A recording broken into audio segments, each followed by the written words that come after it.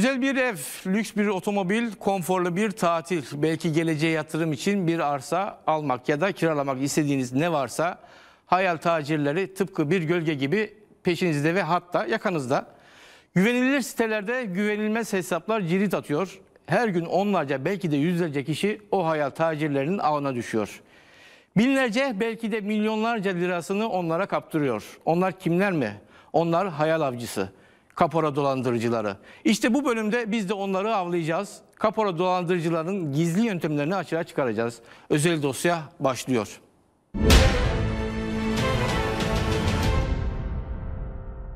Bu programı izlerken evet ben de mağdur oldum. Hayallerimizi çaldılar. Kendimizi çok kötü hissettik diyeceksiniz. Kapora dolandırıcılarının yöntemleri, insanları nasıl kandırdıklarını tek tek araştırdık. İlk olarak kapora dolandırıcılığı ilgili haberimiz var. Sokakta sorular sorduk. Kapora dolandırıcılığı var mı? Hiç mağdur oldunuz mu diye. Sevgin Begüm Yavuz'un hazırladığı o haberi gelin hep birlikte izleyelim.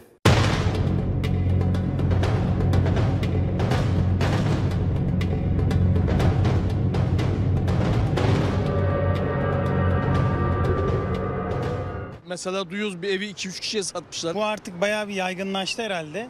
Ee, genel itibariyle herkesten duyuyorum. Uygun fiyatlı bakımlı kiralık daireler, ihtiyacınıza uygun hesaplı otomobiller sadece onlarda değil. İlan sitelerinde aradığınız ne varsa almaya niyetlendiğinizde dolandırılma ihtimaliniz her zamankinden fazla. İnsan bir anda tereddütte kalıyor ya. Yani bir anda boşta bulunuyorsunuz, ödüyorsunuz.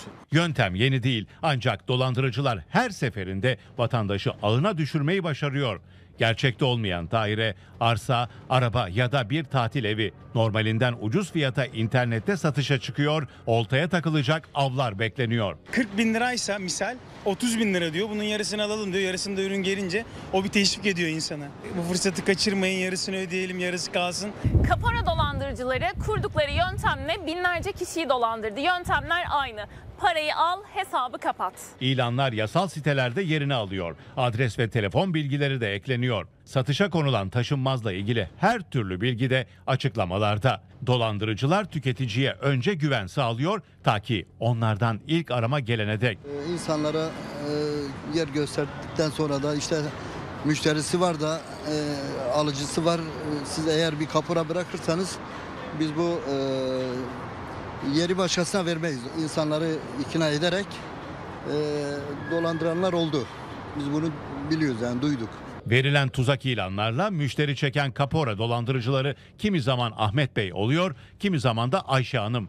Türlü türlü isimlerle karşınıza çıkıyor. Artan fiyatlar kapora dolandırıcılarının da iştahını kabarttı. Her yıl artan mağdur sayılarına yenileri de ekleniyor. Ev kurmak isteyen gençler, tatile gitmek için hazırlanan aileler, yatırım yapmak için arsa almak isteyenler, dolandırıcıların hedef kitlesi geniş olunca yöntemleri de her zaman işe yarıyor. Kafanızda belirlediğiniz ilan için ilk aramayı yaptığınızda karşınızda iyi niyetli bir yaklaşım sergileyen sahte satıcıyla iletişime geçiyorsunuz. Yarı fiyatını istiyorlar.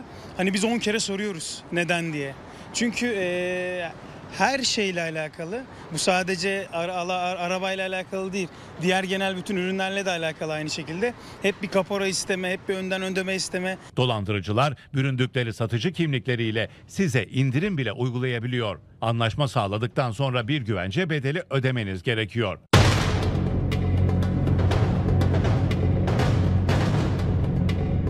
Umut tacirleri kiminden düşük, kiminden büyük miktarlarla kaporalarını alıyor. Farklı kişilere ait IBAN'lara atılan paralar adeta buhar oluyor. Siz ikinci aramayı yaptığınızda o telefonlara artık ulaşılamıyor. Hesap numarasını verdi. Hesap numarasını attım. Telefon cevap vermedi. Tüketicinin binlerce ilan arasında tuzağa düşmemek için her zamankinden fazla dikkat etmesi gerekiyor. Her yer dolandırıcı dolu. Kimseye güvenip de böyle bir şey kalkışmam yani. Önceden para ödeyip de işte sonra alayım falan gibilerden böyle bir şey düşüncem hiç olmadı. Yüklü miktarda paralarını kaptıran kişiler şikayetçi olurken kapora dolandırıcılarından şikayetçi olmayanların sayısı da oldukça fazla. Üstelik bu yöntem dünya genelinde de oldukça yaygın. Verilere göre dünya genelinde tam 15 milyon kişi kapora mağduru. Artık bundan sonra bilerek yapmam tabii. Ama boşuna girerse bir şey diyemiyorum. Herkese inanmasınlar.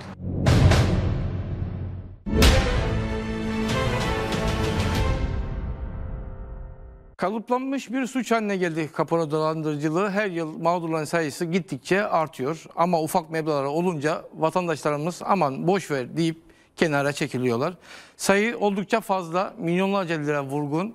İşte bugün bu kapora dolandırıcılığını Profesör Doktor Ali Murat Kırık ile konuşacağız. Hocam hoş geldiniz. Hoş bulduk Devrim. Kapora dolandırıcılığı hatırlar mısınız hocam? Eskiden bir ürün satın alırken e, insanlarla e, tokalaşırdık. Evet. E, işte pazarlık yapılırdı. El sıkışırdık en El sonunda. sıkışırdık. Evet. E, görürdük kapora öyle verirdik ama şimdi dijital çağdayız. Artık dolandırıcılar da burada. Ama şimdi ben de şunu söyleyeyim. Ortam sanal olsa da işlenen suçta gerçek, Devrim Bey. Gerçeklik, Özellikle kes- bunun altını çizmemiz kesinlikle. gerekiyor. Bu kapora dolandırıcıyı her alanda görüyoruz. Evet. E, şimdi arkadaşlarımız bu arada verecekler. E, halinde de sıraladık. Evet. Mesela konut, arsa, otomobil, tatil, telefon, aksesuar her şey. E, hocam nerede hangisinden başlayalım? Yani Şimdi Devrim Bey bir kere şuradan başlamamız lazım. Neden bu alanlarda kapora dolandırıcılığı Evet. arttı? Pandemiden sonra e-ticarete olan ilgi yoğunlaşmaya başladı. Biz artık fiziksel olarak dükkanlardan almaktan ziyade sanal ortamda resmini görelim, fotoğraflarını görelim. Buradan artık alım satım işlemlerini yapıyoruz.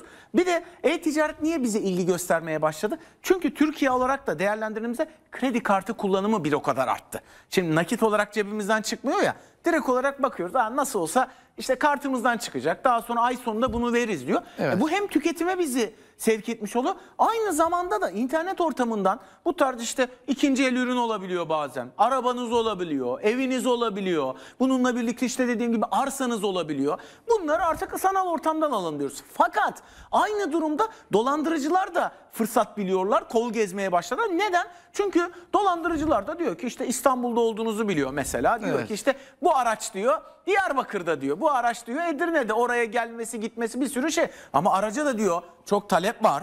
Çok ilgi var. O zaman ne yapmak lazım? Kapora alman lazım. Hatta diyor ki istersen diyor fiyat işte diyor ki 500 bin lira. Ama diyor bunu diyor düşürebiliriz. Nasıl düşürebiliriz? Bildiğiniz üzere diyor bu satım alım satım sitesi bir komisyon bedeli alıyor.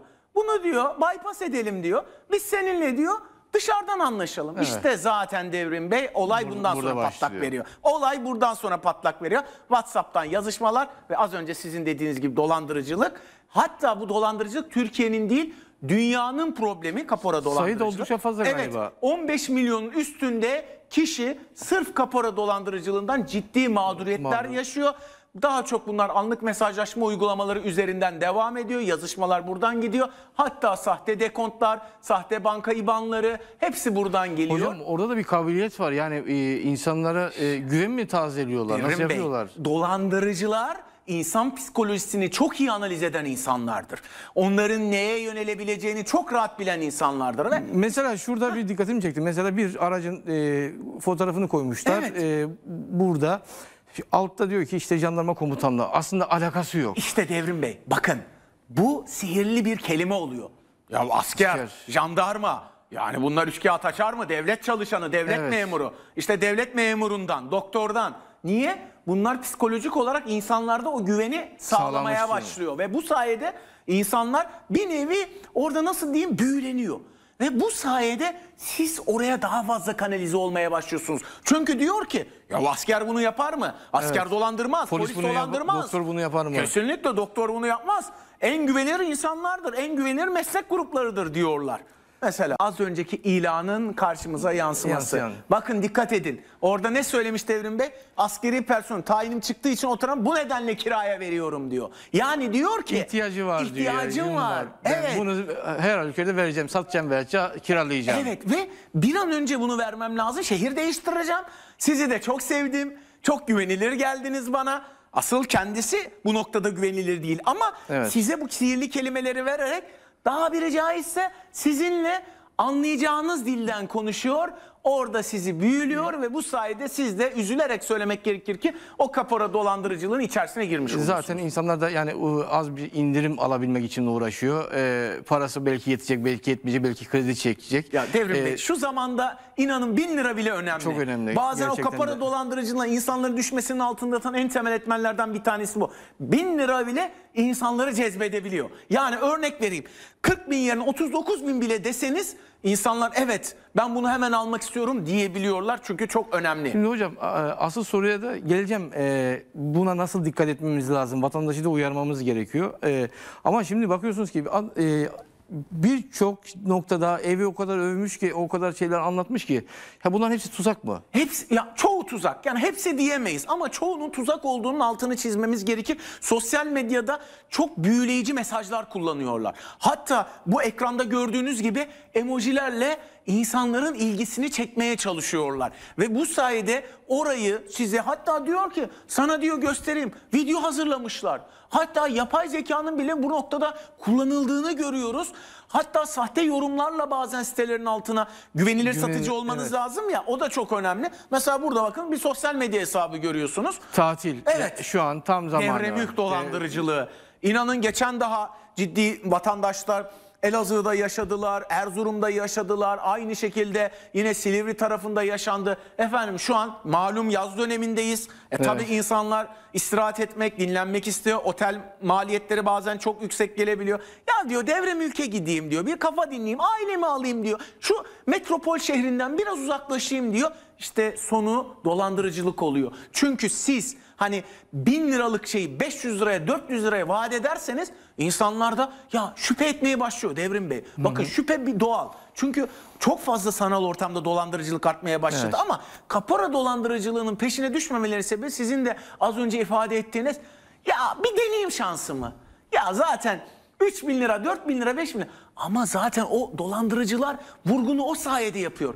Devrimden alıyor, Ali Murat'tan alıyor, oradan buradan alarak bir anda milyonlarca lira vurgun yapıyorlar. Aslında bin lira değil belki yekünen baktığın zaman milyonları vurgun yapmış oluyor. Evet Devrim Bey ve en büyük sorunlardan bir tanesi var. İşte mesela bakın burada da bir araç var. Bu aracı veriyor. Diyor ki işte numara yok dönemiyorum diyor. Sizi direkt olarak ya e, WhatsApp anlık mesajlaşma uygulamalarına döndürüyor. Öyle bir hat da yok. Aslında arayacağınız hat Evet ona geleceğim. Yani şimdi bunlar yakalanacağını düşünmüyorum. Mesela e, WhatsApp üzerinden konuşuyor. Bir telefon numarası var. Şimdi bakın burada neyle yakala- yakalayabilirim onu? Bir, hat üzerinden. İki, gönderdiğim para ya da IBAN hesabı üzerinden. Şimdi söylüyorum Devrim Bey. Birincisi bunlar bu hatlar yok zaten. Sanal numaralar üzerinden bu iletişimi kuruyorlar. Sanal numaralarda çok ciddi bir zafiyetle karşımıza çıkıyor.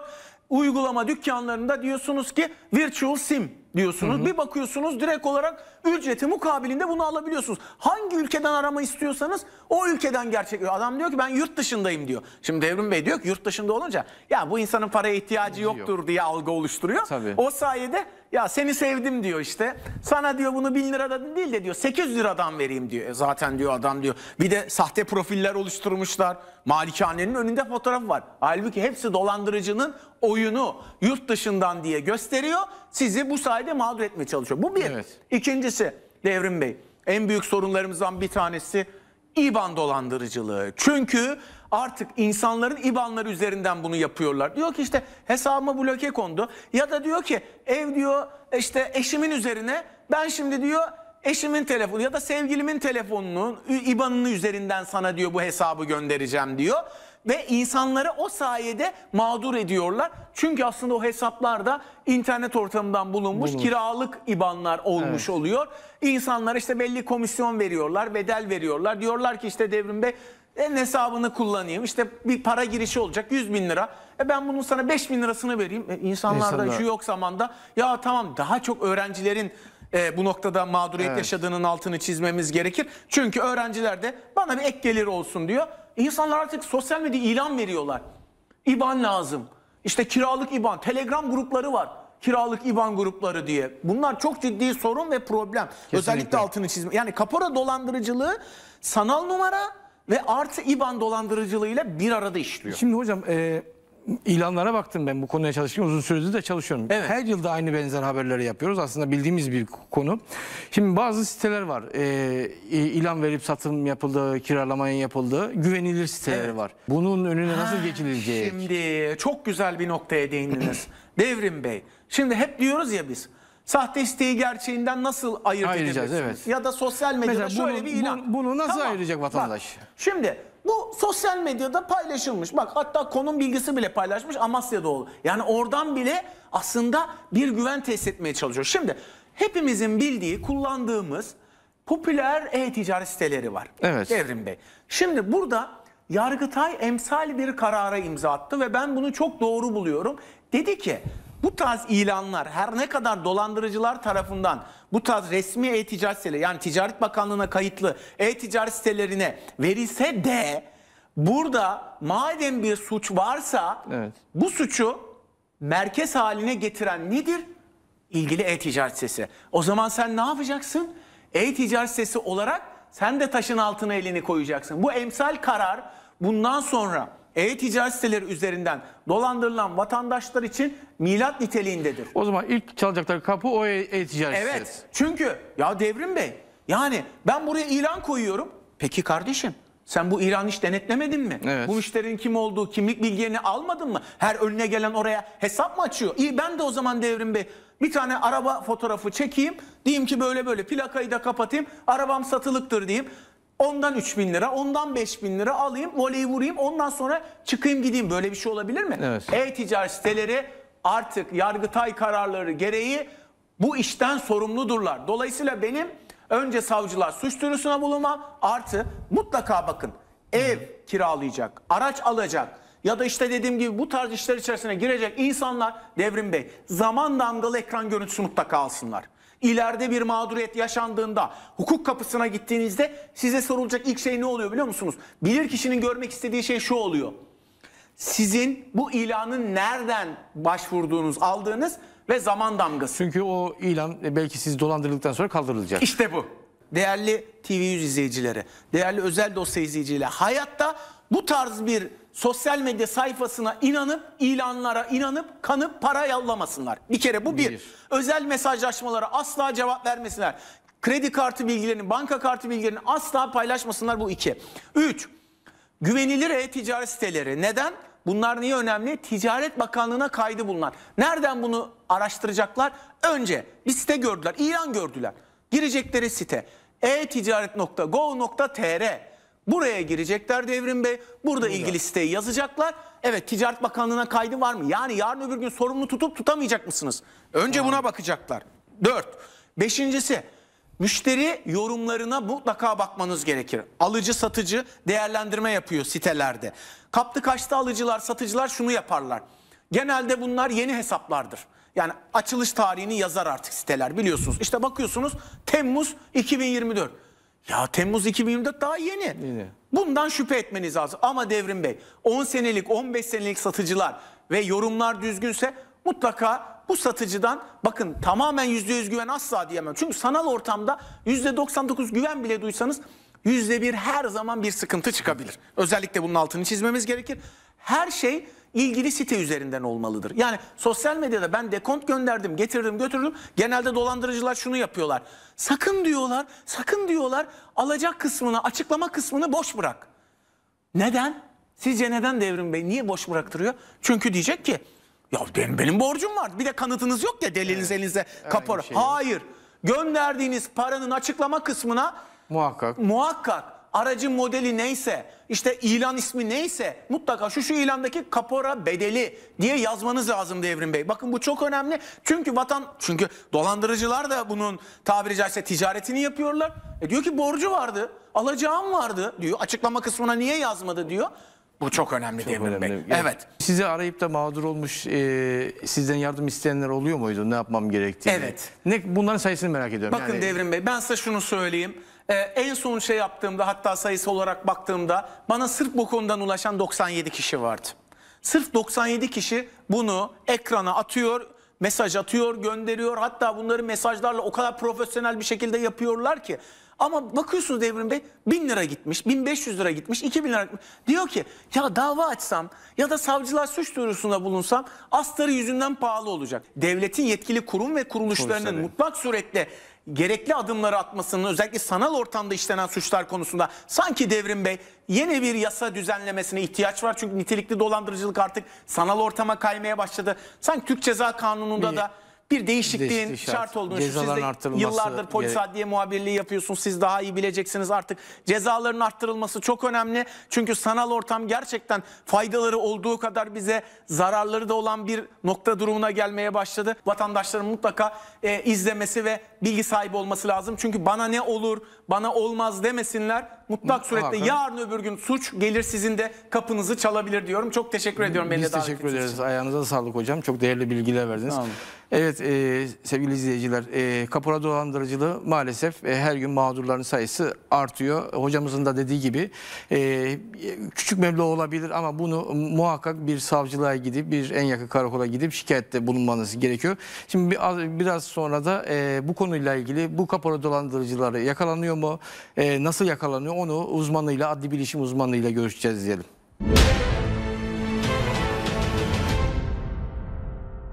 Ali Murat Kırık hocamız çok önemli bilgiler verdi. Kapora dolandırıcılığın genel bir tabiriyle anlattı. Ee, Aslında anlattıkları da çok vahim. İnsan herkesin bilmesi gereken aslında bu programın önemi de burada. Burada bilinçlendirici önemli bilgiler de veriyoruz. Dolandırılanlar savcılığa gidenler ya da gitmeyenler bu kapora dolandırıcıları tespit edilebiliyor mu? Konunun uzman bilirkişisi emekli polis e, adli görüntüleme uzmanı Mustafa Çamlıbel yanımızda. Mustafa Bey hoş geldiniz. Hoş buldum. Şimdi kapora dolandırıcılığı dendiği zaman eee, herkesin başına geliyor. Kalıplaşmış bir suç haline geldi artık. Her yıl biz gazeteciler olarak bir kapora dolandırıcılığı haberi yapıyoruz. Mağdurları bize ulaşıyor. Biz mağdurlara ulaşıyoruz. Meblalar ufak meblalar da var. eee, büyük meblalar da var.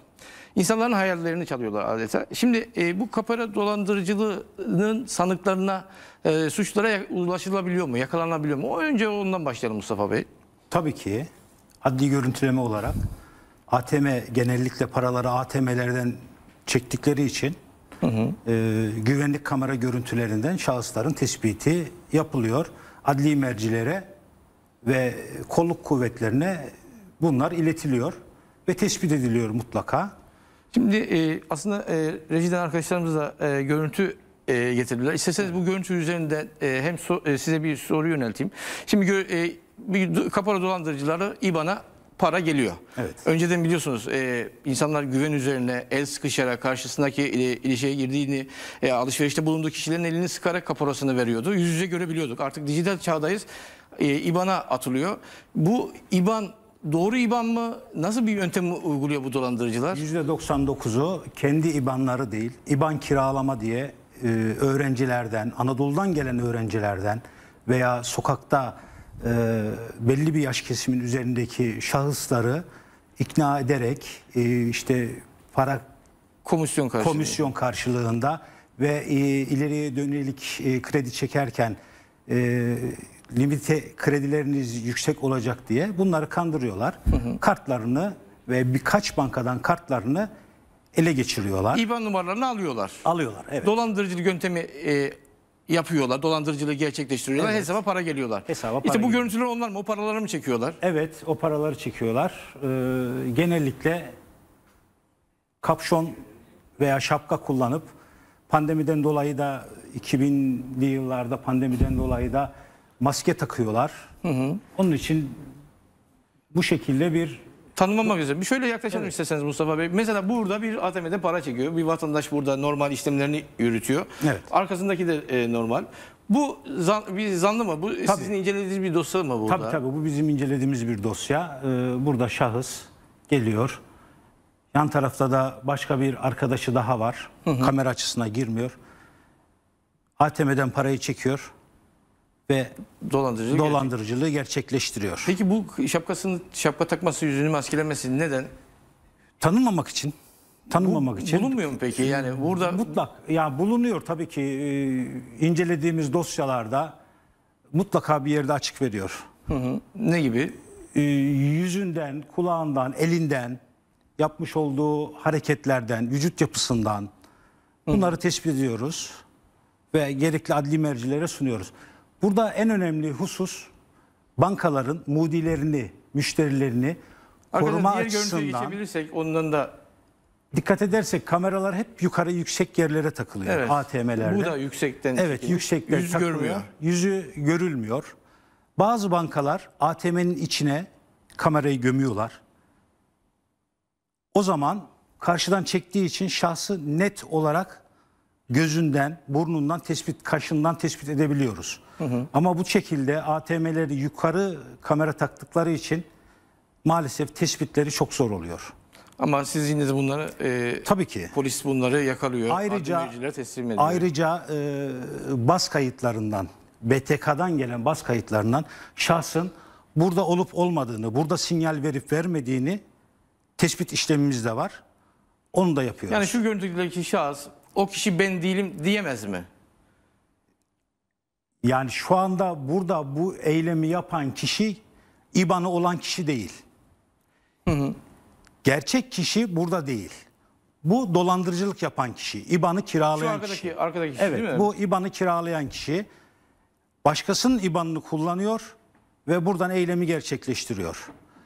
Burada zanlı aslında İBAN'ı kiralayan kişi. Bu rahatlıkla tespit edilebiliyor. İfadesinde diyor ki ben İBAN'ımı şu şahsa verdim. verdim, kiraladım veya beni kandırdı veya bana böyle vaatlerde bulundu Nasıl diyerek vaatlerde bulunuyorlar mesela Mustafa Bey? para vaadinde bulunuyorlar.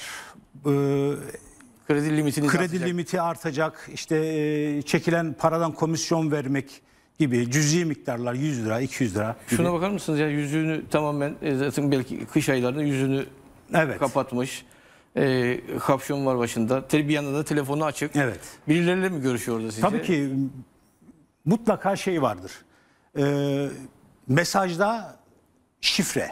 Şifre. Tabii şifreyi, e, bankamatik kartının şifresini bankamatik elinde olduğu için. Çünkü çok kişiden e, IBAN kiraladıkları için hangi bankamatikte hangi kartın şifresi diye bunlar not alıyorlar. Telefonunda %99'u telefonla bakarak ATM'ye şifre giriyor, parayı çekiyor, hemen uzaklaşıyor. Adliyelerde ceza mahkemeleri açılıyor. Sırf bu dolandırıcılık yüzünden. O kadar çok açıldı ki Küçükçekmece olsun, Çağlayan olsun, Bakırköy olsun. Cezaları ne? Ceza, cezası az mı? Ya cezası baktığım kadarıyla biz adli görüntüleme şeyinde yapıyoruz ama e, 7,5 yıla kadar cezası, cezası var. var. Tabii. E, İBAN'ını veren, İBAN'ını veren de tabii İBAN'ını ki. veren bu tabii işi ki. yapan daha fazladır muhtemelen Tabii cezası. Peki Mustafa Bey yani e, bu konularda gerçekten de vatandaşlarımızı e, bilgilendirmek gerekiyor. Çünkü kalıplaşmış bir suç e, demiştik. E, bu suçun e, artık önünü almak gerekiyor bir, bir yerde. E, insanların nasıl e, davranması gerektiğini bir alışveriş sırasında kapora gönderirken bunu tavsiye edeceğiniz noktalar var mı? Tabii bunun suç olduğunu bilmeleri lazım. Ufak paralara kanıp IBAN'larını kimseye vermesinler. Yani baktığımız dosyalarda abisi kardeşinin IBAN'ını kullanıyor.